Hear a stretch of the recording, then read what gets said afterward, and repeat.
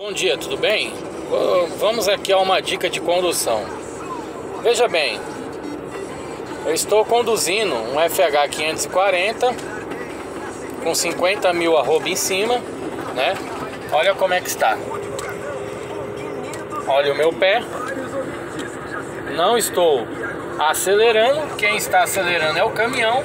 Estou com o turbo cheio na subida, 1,46 de média andei 93 quilômetros, a média vai estabilizar mesmo lá por 260 quilômetros, aí ela estabiliza. Mas até eu estou aqui na BR 135, né, indo para Bahia. Né, é, até eu chegar perto de Bocaiúva, nós vamos brigar, eu e essa média. E vai ser sempre assim. Ela vai ficar sempre na casa do 1,40 até 1,50, né? Eu estou numa subida, tá? Em uma subida. Não estou acelerando. Caminhão no manual, trabalhando com o turbo cheio. Estou terminando a subida.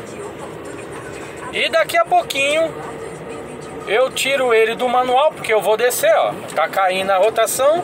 Eu não me preocupo, não vou mudar a marcha até ele chegar no mil. Porque ele tem força ainda, ó. Repare aí, ele tem força. Até ele chegar no mil. Chegou no, se ele chegar no mil e não vencer a subida, eu ajudo ele. Olha lá. Tá no mil. Meu pé fora do acelerador, os dois pés, ok? Olha lá. Ele continua subindo, subiu o giro sozinho, turbo cheio. E é isso aí, galera.